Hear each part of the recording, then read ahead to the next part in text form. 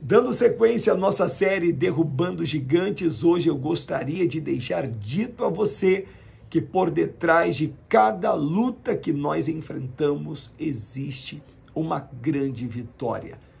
Quando Davi soube da presença do gigante afrontando a toda uma nação, ele perguntou qual seria a recompensa para o homem que vencesse aquele problema.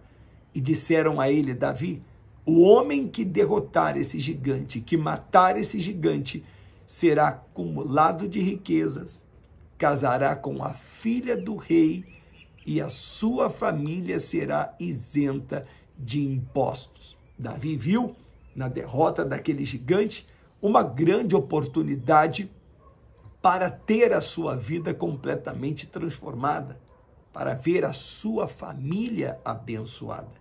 Ele não desaproveitou aquela chance. Não desaproveite a chance que Deus está dando a você e através desse problema que você está enfrentando, extraia a sua vitória, extraia a sua bênção, aquilo que você está precisando para que a sua alegria ela seja completa aqui na terra. Não se intimide com o tamanho do gigante. Não se intimide com aquilo que os seus olhos ou os seus ouvidos estão ouvindo. Os seus olhos vendo e os seus ouvidos ouvindo. Permaneça firme. Deus é contigo. Não se esqueça. Depois da luta, virá para você uma grande vitória. Eu sou Rodrigo Pires, bispo na Igreja Recomeço, Amor e Família, aqui em Curitiba. Deus abençoe você.